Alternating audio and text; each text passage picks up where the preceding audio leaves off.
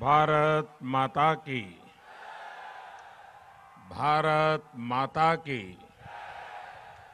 भारत माता की। यवतमाळ जिला तर्फो पांढर कवडा नाटे तर्फो समधीर दादाल बायकोन नावा प्रधान सेवकना जय सेवा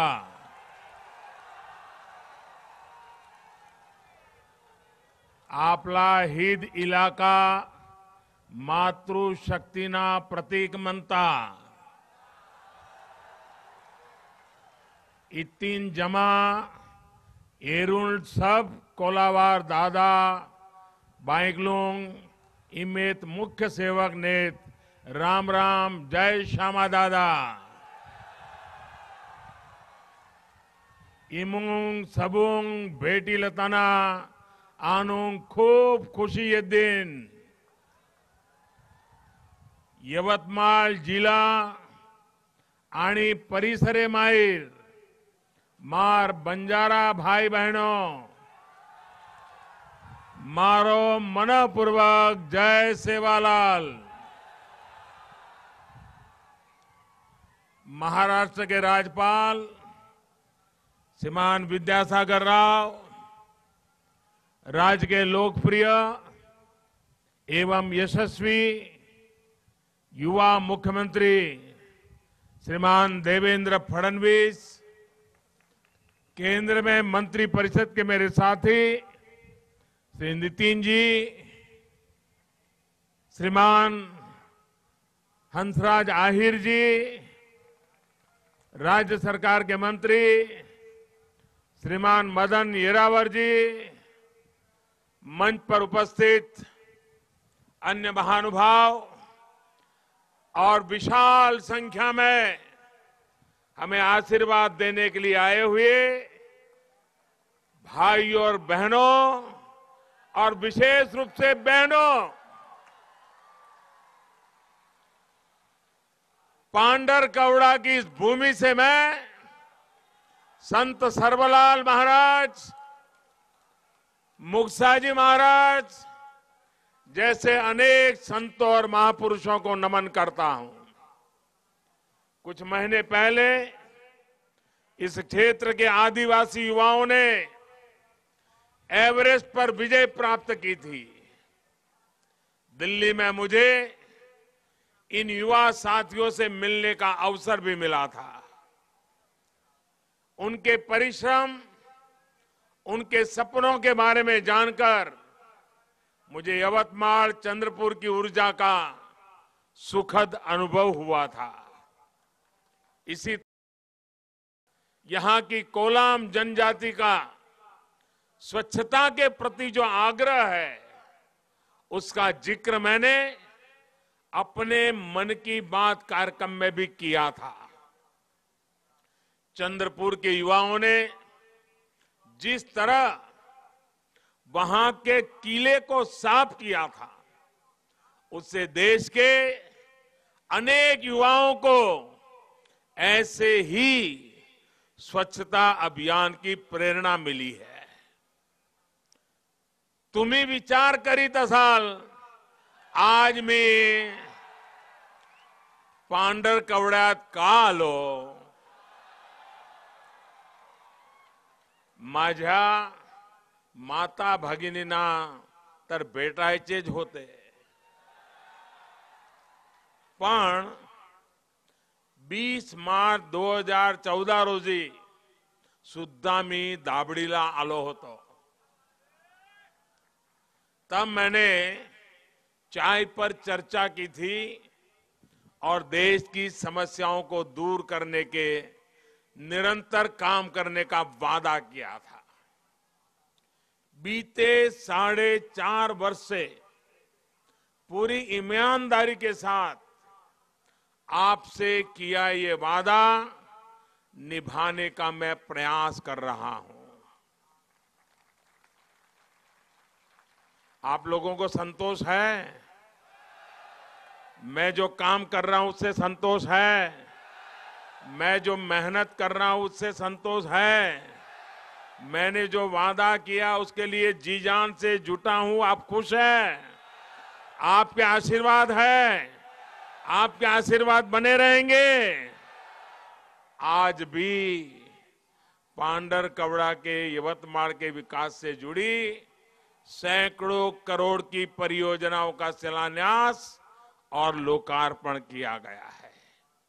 इनमें गरीबों के घर से जुड़े, सड़कों से जुड़े, रेलवे से जुड़े, रोज़गार और स्वरोजगार से जुड़े, शिक्षा से जुड़े अनेक प्रोजेक्ट्स हैं।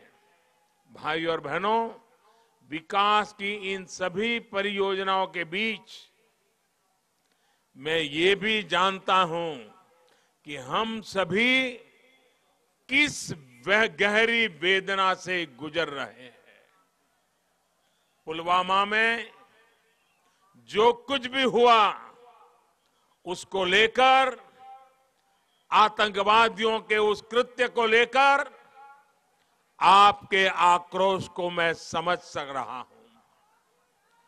यहाँ महाराष्ट्र के भी, यहाँ महाराष्ट्र के भी दो वीर सपूतों ने देश की सेवा करते हुए पुलवामा में अपने प्राणों की आहुति दी है। जिन परिवारों ने अपने लाल को खोया है, उनकी पीड़ा मैं भली भांति अनुभव कर सकता हूँ। हम सभी की संवेदनाएँ उनके साथ है। भाई और बहनों, मैंने कल भी कहा है और आज भी दोहरा रहा हूँ, इन शहीदों का बलिदान व्यर्थ नहीं जाएगा।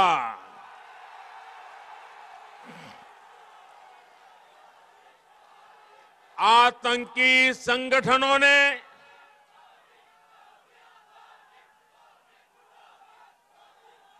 आतंक के सरपरस्तों ने जो गुनाह किया है, वो चाहे जितना छिपने की कोशिश करें, उन्हें सजा ज़रूर दी जाएगी।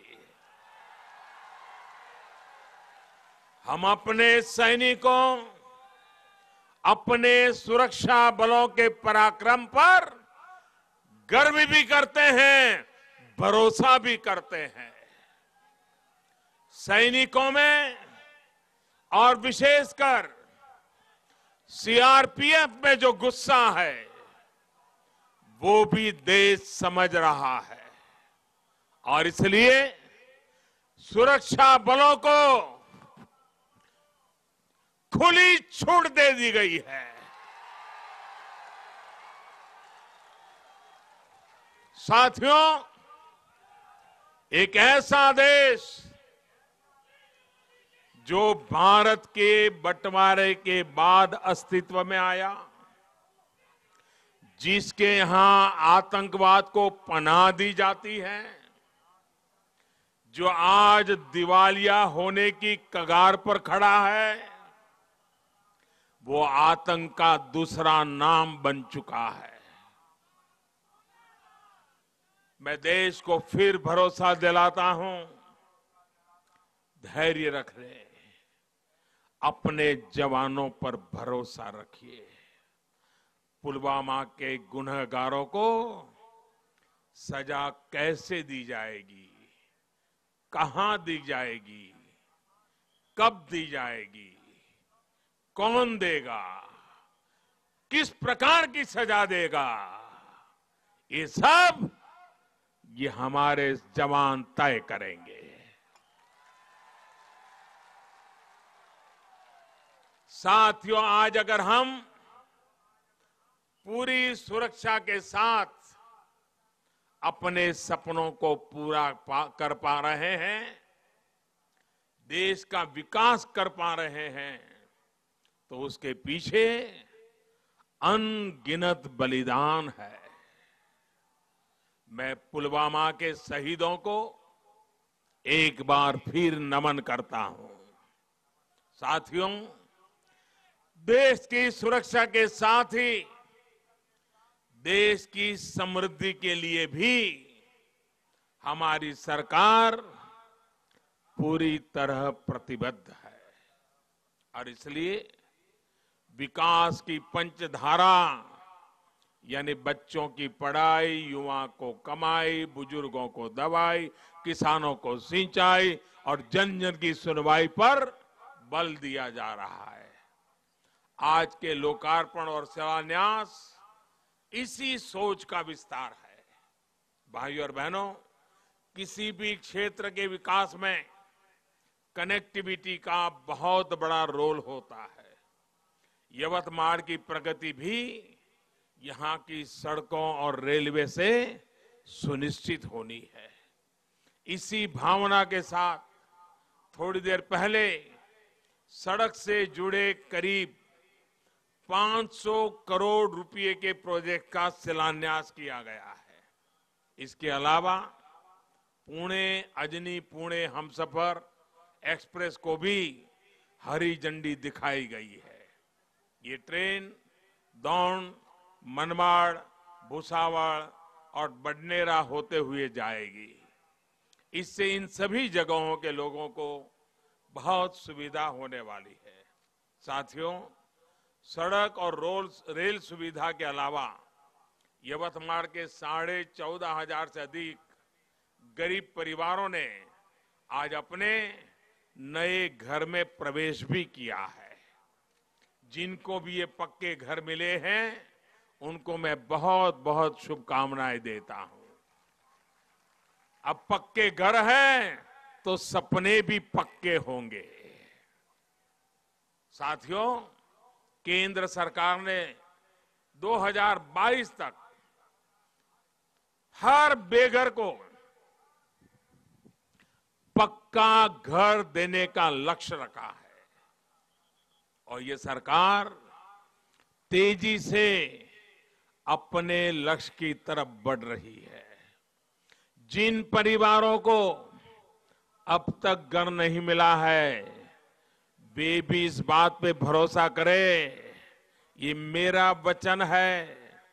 2022 के पहले हर परिवार को पक्का घर होगा होगा होगा।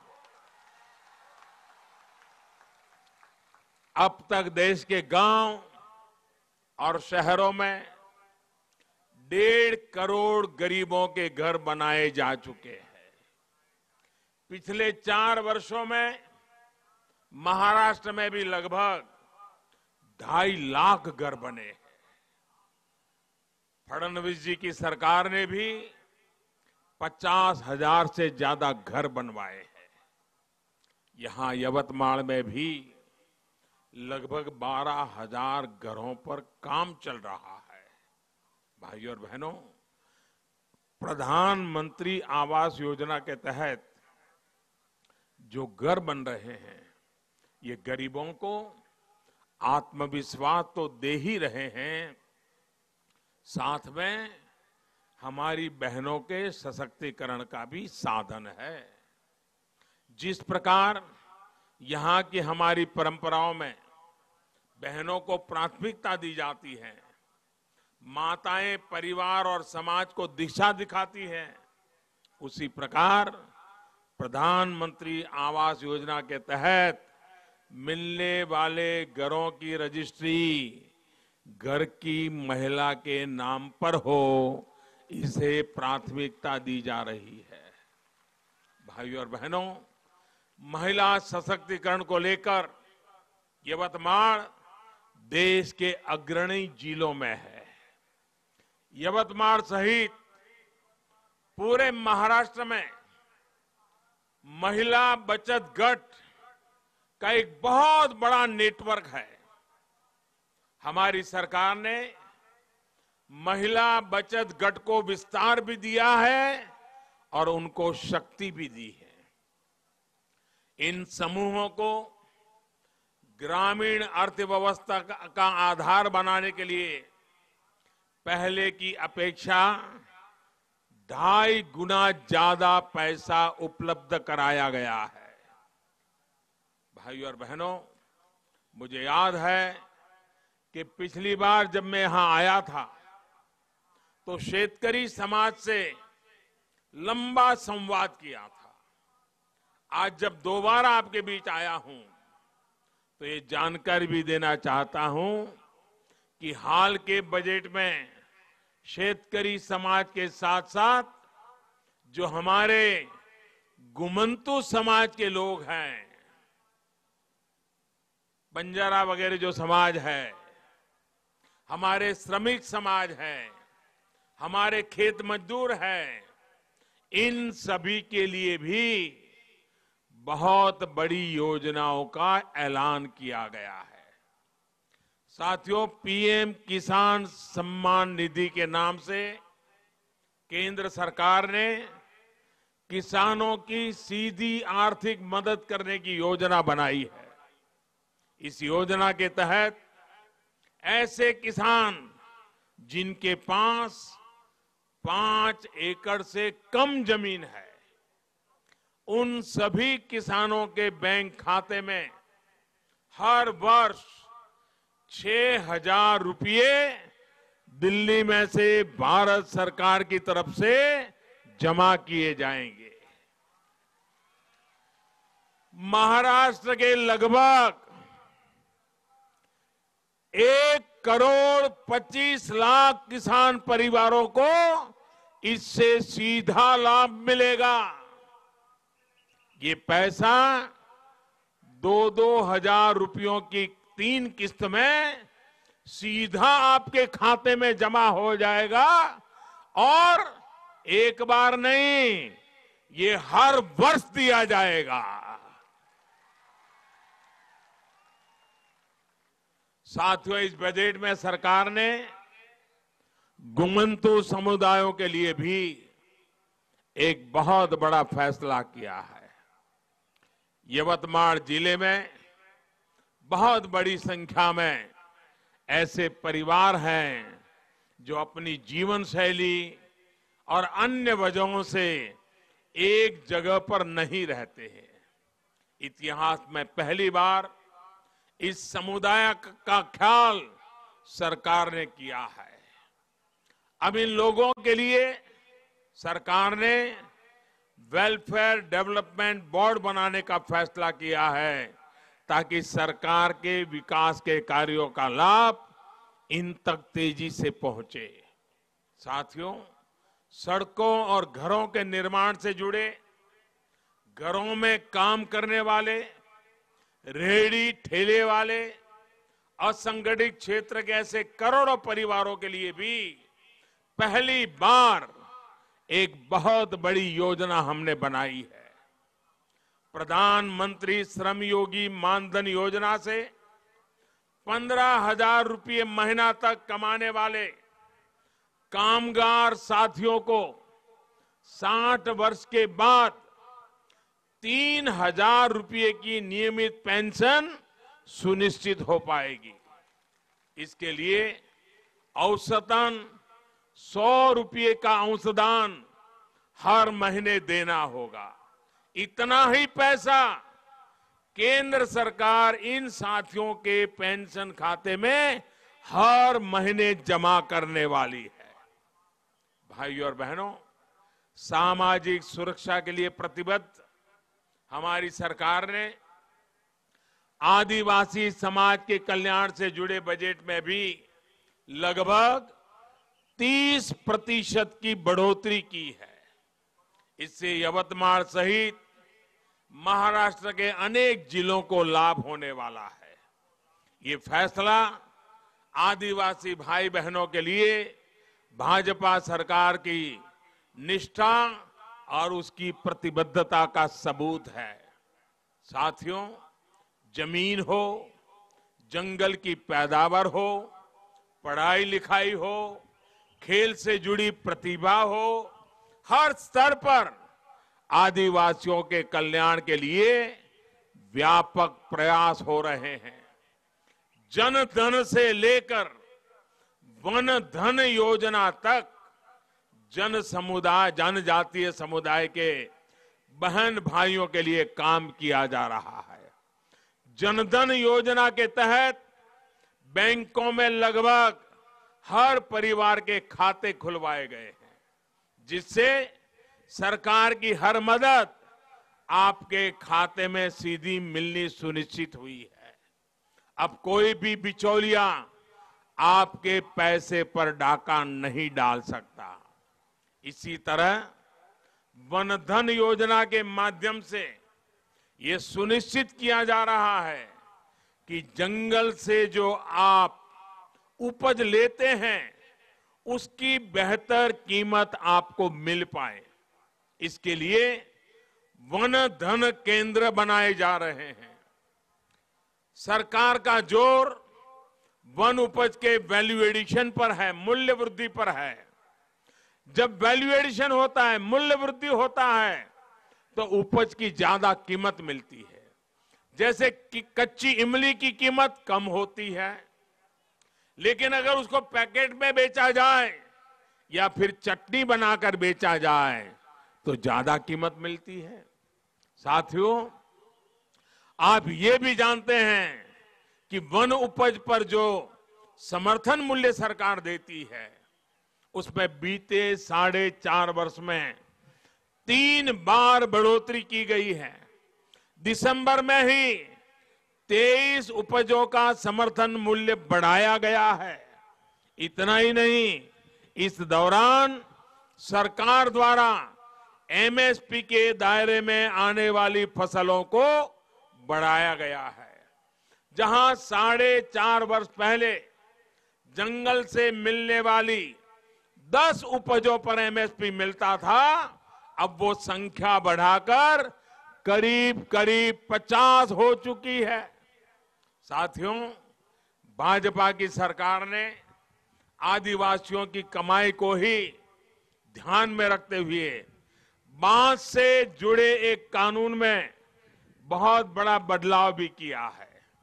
अब आप अपने खेत में भी बाँस उगा सकते हैं और उसको बेचकर अपनी आय बढ़ा सकते हैं। पहले ऐसा संभव नहीं था, क्योंकि बाँस को पेड़ की श्रेणी में रखा गया था। सिर्फ़ बाँस की खेती कर पाए, इतना ही काम नहीं किया है। इसको व्यापक बाज़ार मिले, इसके लिए भी काम किया जा रहा है। साथियों, आदिवासी क्षेत्रों में शिक्षा से लेकर कौशल और रोज़गार तक के अनेक प्रयास किए जा रहे हैं। हमने जनजातीय क्षेत्रों में एक लव्य मॉडल स्कूल खोलने का व्यापक अभियान चलाया है। इसके तहत बीस हज़ार से अधिक की आदिवासी आबादी वाले क्षेत्रों में स्कूल खोले जा रहे हैं। आज ही यहाँ पर किनवट के एकलव्य मॉडल स्कूल के नए कैंपस का लोकार्पण भी किया गया है। इस नए कैंपस में 400 से अधिक युवा साथी अपने भविष्य को संवार पाएँगे। साथियों, आदिवासी समाज के स्वास्थ्य को लेकर भी व्यापक प्रयास देश में चल रहे हैं। आज यवतमाल के लिए तीन संस्थानों का लोकार्पण और शिलान्यास किया गया है। हमारे जनजातीय इलाकों में सिकल सेल की एक बीमारी बहुत सामान्य है। विशेष तौर पर विदर्भ में इस बीमारी की बहुत अधिक समस्या है। हम बीमारी के इलाज के लिए बेहतर चिकित्सा सुविधा हो, रिसर्च की सुविधा हो, इसके लिए चंद्रपुर में रिसर्च से जुड़ा सेंटर स्थापित किया जा रहा है। साथियों, आदिवासी भाई बहनों को केंद्र सरकार की आयुष्मान भारत योजना का भी बड़ा लाभ मिल रहा है। इस योजना के तहत गंभीर बीमारी की स्थिति में गरीबों का पाँच लाख रुपए तक का इलाज सुनिश्चित हुआ है। अभी कुछ देर पहले ही मेरी आयुष्मान भारत के अनेक लाभार्थियों से मुलाकात भी हुई है। उनके चेहरे पर जो संतोष था, वही आपके इस प्रधान सेवक का मेहनताना है। साथियों, भारत को खेल की महाशक्ति बनाने में आदिवासी नौजवानों का सामर्थ्य बहुत बड़ी भूमिका निभाता जा रहा है। इसे समझते हुए ही आदिवासी क्षेत्रों में खेलों की सेवाओं, सुविधाओं को और विस्तार दिया जा रहा है। सरकार का विशेष ध्यान डेढ़ सौ से अधिक आदिवासी बाहुल्य जिलों में खेल सुविधाओं के विकास पर है। सरकार द्वारा ऐसे हर ज़िले को 2022 तक पाँच करोड़ रुपए तक की सहायता का प्रावधान किया गया है। साथियों, इतिहास साक्षी रहा है कि देश की आज़ादी से लेकर देश के विकास में आदिवासी नायकों का बहुत बड़ा योगदान रहा है। भाजपा सरकार इस योगदान को सम्मान देने का काम भी कर रही है। आज़ादी की लड़ाई में जिन आदिवासी बेटे बेटियों ने बलिदान दिया है, उनकी याद में देश भर में स्मारकों का निर्माण हो रहा है। भाइयों और बहनों, देश की सुरक्षा, महिला सशक्तिकरण आदिवासी कल्याण और विकास के दूसरे काम अगर आज इतनी तेज़ी से हो पा रहे हैं, क्योंकि आपने साढ़े चार वर्ष पहले एक मज़बूत सरकार के लिए वोट दिया था। आज सरकार साफ़ नियत के साथ स्पष्ट नीति बना रही है तो आपके एक वोट के कारण संभव हुआ है। तब अगर आप इससे चूक जाते तो शायद हम वहीं के वहीं रह जाते। विकास के इस विश्वास को आप और अधिक मज़बूत करेंगे। अपने इस प्रधान सेवक पर अपना आशीर्वाद बनाए रखेंगे। इसी आग्रह के साथ एक बार फिर विकास की सभी परियोजनाओं के लिए मैं आपको बहुत बहुत बधाई देता हूँ। मेरे साथ जरजोर से बोलिए, भारत माता की, भारत माता की, भारत माता की। बहुत बहुत धन्यवाद।